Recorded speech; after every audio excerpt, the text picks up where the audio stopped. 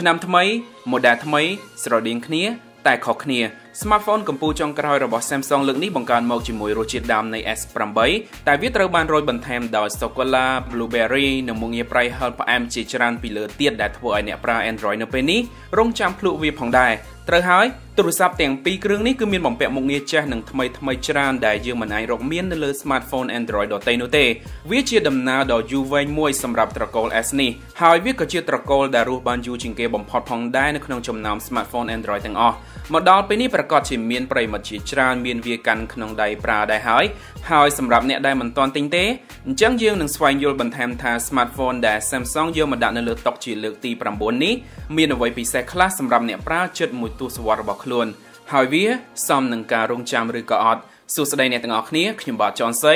ខ្ញុំចំណាយពេលជាច្រើននៅជាមួយ smartphone ទាំងពីរនេះច្រើនថ្ងៃច្រើនកន្លែងទាំងភ្នំពេញ កំពតនិងប្រទេសចិនអាចថាខ្ញុំ Izin វាលើសពេកហើយ ហើយនេះគឺជាវីដេអូ review បង្ហាញពី Galaxy S9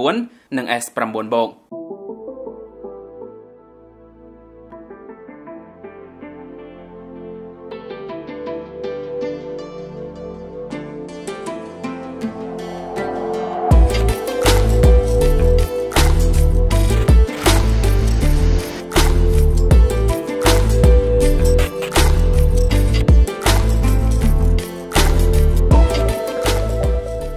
សូមកាត់ឲ្យខ្លីទៅចោះទៅលើរចនាប័ទ្មនៃ Galaxy S9 និង S9 Plus ទូរស័ព្ទទាំងពីរគ្រឿងនេះគឺប្រើរូបរាងដើមរបស់ S8 ស្ទើរតែ90%ទៅហើយទាំងទំហំអេក្រង់និងទំហំថ្មគ្រាន់តែវាមានទម្ងន់រាងធ្ងន់ជាងបន្តិចបើត្រឹមមើលឃើញឬមើលតាមរូបភាពយើងមិនអាចចាប់អារម្មណ៍ដឹងពីចំណុចកែប្រែច្រើនទេតែនៅពេលដែលបានកាន់ប្រើវាមួយរយៈធំមកនេះខ្ញុំអាចឃើញថាហេតុអីក៏ Samsung សម្រេចធ្វើអ្វីដែលបានធ្វើលើ smartphone នេះកុំកែអ្វីដែលមិនទាន់ខុស កែអ្វីដែលជាកំហុសនៅក្នុង S9 នៅតែមានបំពាក់រុនដោតកាសរុនបន្ថែម memory card អាចក្រោះការពារទឹកនិងដីសាកថ្មដោយមិនប្រើខ្សែក៏ដូចជាមុខងារ iris scanner ផងដែរជាពិសេសគឺ sensor scan ចង្វាក់បេះដូងដែលនៅតែបន្តមានតាំងពី Galaxy S ចំនួនទី5ហើយលើកនេះវាស្ថិតនៅក្នុងកញ្ចក់បានយ៉ាងស្អាតល្អក្រោម flash ពន្លឺនេះទៅលើរូបរាងខាងក្រោយខ្ញុំពិតជាមិនសូវជាចូលចិត្តរចនាប័ទ្មបែបនេះប៉ុន្មានទេព្រោះវារាងស្រដៀងទៅនឹង A8 បន្តិច តែ Samsung បានកែកំហុសទៅលើទីតាំងទ្រនាប់ scan ម្រាមដៃមកស្ថិតនៅកន្លែងល្អជាងមុន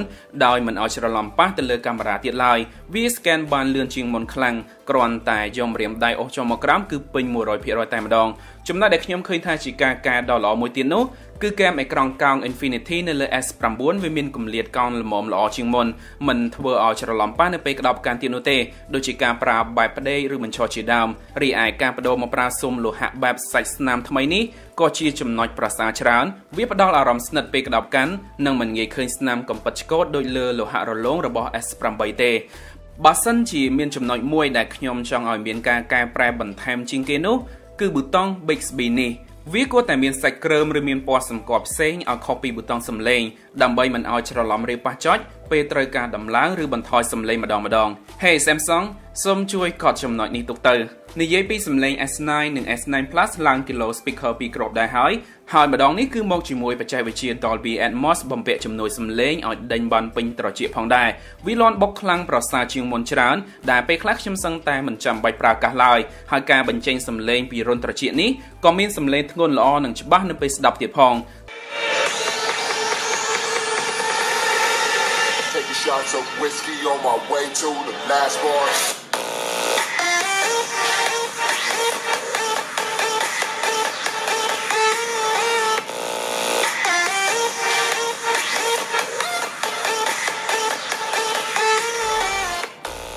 ទៅលើគុណភាពអេក្រង់ Samsung នៅតែបន្តគ្រងតំណែងលើបន្ទះបង្ហាញ Super AMOLED នេះដដែលហើយនេះអាចជឿខ្ញុំបានអេក្រង់របស់ S9 និង S9 Plus គឺមិនងាយរកមានលើ smartphone Android ដទៃនោះទេវាដិតម៉ត់ខ្មៅក្រឹបនិងមានពន្លឺជះបានភ្លឺក្រោមថ្ងៃនិងបន្ថយមកវិញបានទៀតនៅពេលយប់ផងដែរហើយការបូកបញ្ចូលរវាង HDR និងសំឡេង Dolby Atmos ទៀតនោះត្រជាអ្នកនឹងអរគុណ ភ្នែកអ្នកនឹងរីករាយវានឹងកាន់តែធ្វើឲ្យយើងជក់ចិត្តលើការទស្សនាតាម Netflix កាន់តែខ្លាំងបន្ថែមទៀត Galaxy S9 និង S9 Plus ដែលខ្ញុំកំពុងបង្ហាញនេះប្រើបន្ទះ chip ចុងក្រោយ Exynos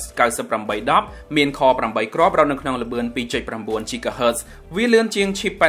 8895ល្បឿន 2.3 GHz ដែលមាននៅលើ S8 ចំនួនមុនហើយចំណុចដែលខ្លាំងមិនមែនត្រឹមតែលើ clock speed ទេវាថែមទាំងប្រើធម៌ពលតិចជាងមុនបោកចេញចូលកម្មវិធីលឿនជាងមុនទាំងការអូសមីនុយ និងរត់កម្មវិធីច្រើននឹងជួយឲ្យកាមេរ៉ាធ្វើការបានខ្លាំងជាងមុនផងដែរខ្ញុំមិនទាន់បានសាកប្រើ SD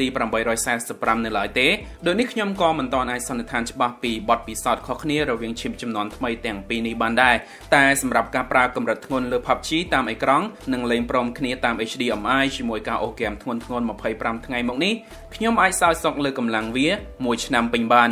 មកធម្មពលថ្មដែលបំពាក់នៅក្នុង smartphone ទាំងពីរនេះគឺស្ថិតនៅកម្រិតល្មមបែបទូទៅប៉ុណ្ណោះមិនអាចរស់ហៀដល់2ថ្ងៃបានទេក្នុងការប្រើជាប់របស់ខ្ញុំហើយនៅលើអាថមរៀងគ្រាន់បើជាងអាតូចបន្តិចទៅលើរយៈពេល13ម៉ោង40នាទីនឹងប្រើអេក្រង់ជាប់2ម៉ោងកន្លះជាមួយនឹងការតេស្តហ្គេមនិងកម្មវិធីបន្ថែមវានៅសល់15%ទៅ8%អញ្ចឹងធម្មពលថ្មប៉ុណ្នេះគឺល្មមតែមិនខ្លាំងនោះទេបើសិនជាប្រើលើហ្គេមខ្លាំងលើ server 4G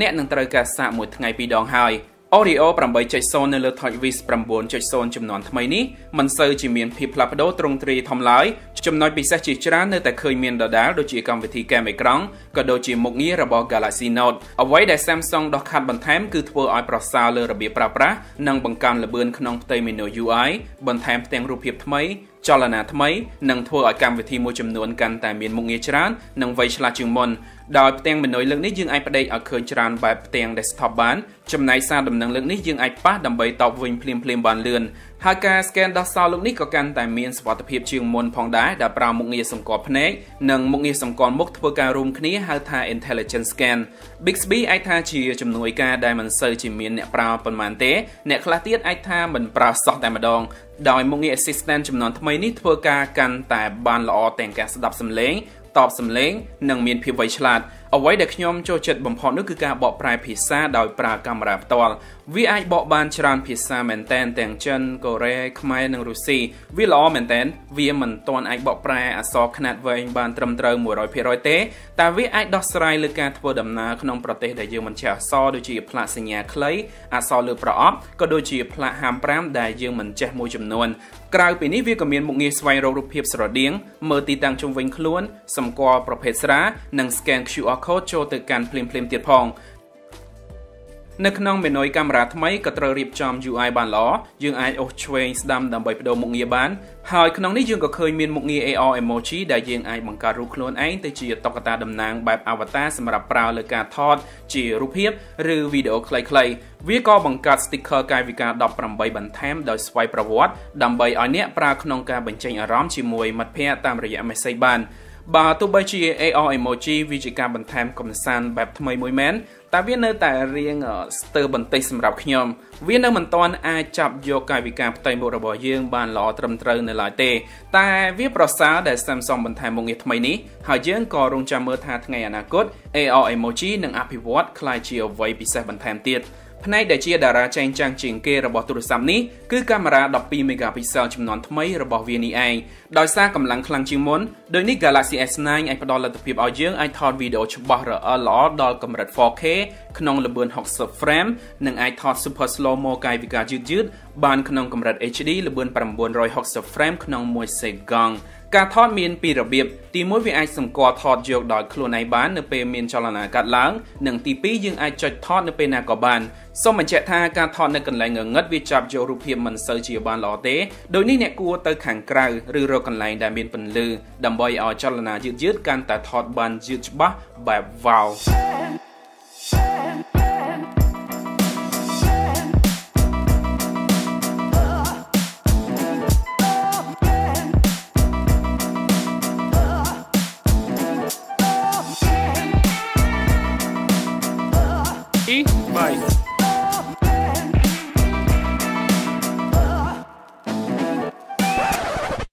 It was at this moment that he knew. He fucked up. ជាមួយ sensor កាមេរ៉ាថ្មីនេះវាកាន់តែមានភាពប្រសើរទៅលើការ process រូបភាពហើយផ្នែកដែលបន្ថែមខ្លាំងធំជាងគេបំផុតនោះគឺលទ្ធភាពដែលអាចបដូរពីកម្រិត aperture តូច2.4ទៅកម្រិត aperture ភ្លឺខ្លាំង1.5ស្រដៀងទៅនឹងកាមេរ៉ាធំធំមួយចំនួនដែរ តែនៅលើ S9 អាតូចมันមាន lens telephoto បន្ថែមទេដូចនេះវាក៏មិនអាចថតរូបភាពបែប live focus បានដែររៀងសោកស្ដាយបន្តិចហើយ lens ថ្មីនេះអាចស្រូបពន្លឺចូលបានច្រើននិងកាត់បន្ថយស្នាមអុចចំពោះការថតពេលយប់បានល្អនៅពេលដែលខ្ញុំនិយាយបានល្អគឺវាធ្វើបានល្អទៅលើការស្រូបពន្លឺវាគឺជា lens ភ្លឺបំផុតមួយនៅលើទីផ្សារនេះពេលនេះហើយក៏ចាប់យករូបភាពបានលឿនផងដែរ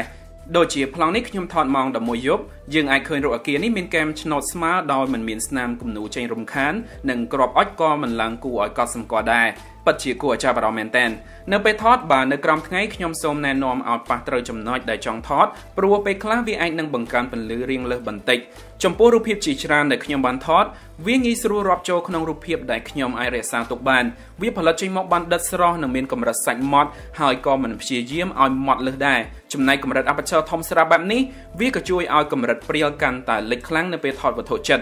ចំពោះពណ៌សាច់គឺវាជាការកំណត់របស់ Samsung ទៅហើយដោយនេះវានឹងឃើញបែបដិតបន្តិចនៅប្លង់ទេសភាពចំណែកការថតរូបភាពព្រាលបែប bokeh វាកណនាចំណុចបានកាន់តែល្អជាងមុនមែនតែខ្ញុំគិតថាកាមេរ៉ារបស់ Pixel រៀងធ្វើការបានប្រសើរជាងទៅលើពន្លឺនិងត្រីផុស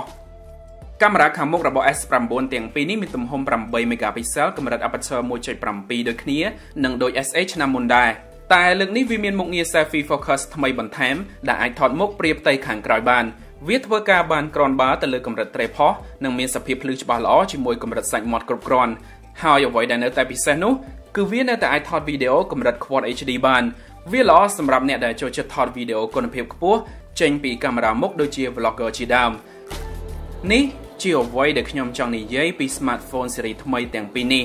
Galaxy S9 និង S9 Plus គឺជាចំនួនផ្លាស់ប្ដូរនិងបង្កើនសមត្ថភាពដ៏ពិសេសពីលើ S8 ចំនួនមុនជាច្រើនចំណុចទាំងកម្លាំងម៉ាស៊ីនកាមេរ៉ាអាចថតកាន់តែភ្លឺជាមួយលទ្ធភាពដែលអាចថតវីដេអូ 4K 60 frame និង slow motion យឺតកប់ AR emoji អាចថាជាមុខងារប្លែកដែរក៏ដូចជា Bixby លើកនេះវាវៃឆ្លាតជាងមុនទាំង speaker ត្រូវបានដំឡើងទៅ stereo Dolby Atmos ដែលឮខ្លាំងពីរោះនិងមានការកែប្រែចំណុចស្ទើរពីមុនមកត្រូវច្រើនទាំងគុណភាពផលិត និងទីតាំងទម្លាប់ប្រើអូខេអ្វីដែលពិសេសក៏នៅតែពិសេសដូចជារុនដតកាសសាក់ថ្មមិនប្រើខ្សែអាក្រក់ការពារក៏ដូចជារុនបន្ថែម memory card ផងដែរអ្វីដែលរៀងស្ទើរមិនទាន់ខ្លាំងនោះគឺថាមពលថ្មនៅមានកម្រិតវាអាចរស់បានមួយថ្ងៃសម្រាប់អ្នកប្រើទូទៅ តែមិនអាចស៊ូដល់យប់ទេសម្រាប់អ្នកលេងហ្គេមច្រើនបើសិនជាអ្នកកំពុងកាន់ Note 8ខ្ញុំគិតថាអ្នកអាចបន្តប្រើវាទៀតបានព្រោះ Note 8នៅតែមានរូបរាងស្អាតមុខងារសម្បូរបែបក៏ដូចជាកាមេរ៉ាភ្លោះស្រាប់ចំណែកម្ចាស់ Galaxy S8 និង S8 Plus ទាំងអស់អ្នកក៏អាចបន្តប្រើវាបានដែរព្រោះរូបរាងនិងមុខងារមួយចំនួនមិនសូវជាមានភាពខុសគ្នាច្រើននោះទេតែបើសិនជាមុខងារ AR emoji ទាញចិត្តអ្នកកាមេរ៉ាថ្មីបំភ្លឺចិត្តអ្នកក៏ដូចជាចំណុចរូបរាងដំឡើងទាំងអស់ត្រូវចិត្តអ្នក វាក៏គ្មានអ្វីគួរឲ្យគិតច្រើនទៀតដែរក្នុងការសម្រេចចិត្តទិញ smartphone ចំនួនថ្មីទាំងពីរនេះមកប្រើសម្រាប់ខ្ញុំខ្ញុំនឹងរើសយក S9 Plus វាធំមានកាមេរ៉ាបន្ថែមអេក្រង់ធំជាង និងមាន RAM ច្រើនជាងផងដែរតែសម្រាប់អ្នកដែលចង់ចំណាយតិចនិងត្រូវការរូបរាងតូចអ្នកអាចយក S9 ធម្មតាបាន Samsung Galaxy S9 និង S9 Book បើមើលទៅវាមិនមែនជាការផ្លាស់ប្ដូរធំមែនលើរូបរាង តែគាត់ទាំងពីរគ្រឿងនេះគឺជាកីឡាករទម្ងន់ធ្ងន់បន្តិចដែលពិបាកដល់គូប្រជែងដទៃទៀតដែរចំណុចពិសេសនោះគឺវាមានរចនាបថប្លែកពីគេស្រាប់នៅពេលដែលឆ្នាំនេះក្រុមហ៊ុនភាគច្រើនសម្រាប់ចិត្តកោសក់ជុំបច្ឆក់តាមគ្នាអស់ហើយ Samsung ធ្វើត្រូវច្រើនចំណុចលើម៉ាស៊ីននេះទាំងល្បឿនលឿនអេក្រង់កប់រូបរាងស្រួលកាន់បច្ចេកវិទ្យាថ្មីសុវត្ថិភាពប្រព័ន្ធដំណើរការសម្បូរបែបនិងកាមេរ៉ាដើមមុនចំនួន ហើយយើងក៏ពិបាកស្វែងរក smartphone Android ណាដែលដាំត្រូវចំណុចច្រើនដោយវាទាំងពីរនេះដែរនៅឆ្នាំ2018នេះវាមិនភ្ញាក់ផ្អើលខ្លាំងមែនតែវាជា smartphone Android មួយដែលស្ទើរតែឥតខ្ចោះទៅហើយអរគុណអ្នកទាំងអស់គ្នាសម្រាប់ការទស្សនាវីដេអូនេះហើយក៏អរគុណក្រៃលែងសម្រាប់ការ sub ដល់100000របស់អ្នកទាំងអស់គ្នានៅវីដេអូបន្ទាប់នឹងមានរបស់ថ្មីច្រើនដែលប្លែកនឹងយកមកបង្ហាញជាមួយនឹងប្រធានបទចំណេះដឹង បន្ថែមជាច្រើនទៀតផងដែរអរគុណហើយខ្ញុំនឹងជួបអ្នកទាំងអស់គ្នានៅវីដេអូក្រោយទៀតគ្រប់គ្នាតែងតែសុបិនចង់បានជីវិតដែលដូចក្នុងរឿងនិទានប៉ុន្តែពេលខ្លះជីវិតយើងអាចប្រសើរជាងរឿងនិទាននោះទៅទៀតមិនចាំបាច់សុបិនទៀតទេឥឡូវនេះអ្វីអ្វីអាចคล้ายជាការពិតទាំងអស់ផ្ដល់សុភមង្គលដល់គ្រួសារលោកអ្នក នៅជីវិតក្នុងក្តីសុបិនជាមួយ Villa King A របស់បរិយពេងហួតគេហដ្ឋានរស់នៅដ៏ប្រណិតដែលប្រកបដោយឧត្តមភាពសម្រាប់បទពិសោធន៍សុភមង្គលគ្រួសារដ៏ល្អឥតខ្ចោះបុរីពេញហួតធ្វើឲ្យជីវិតលោកអ្នកកាន់តែមានន័យ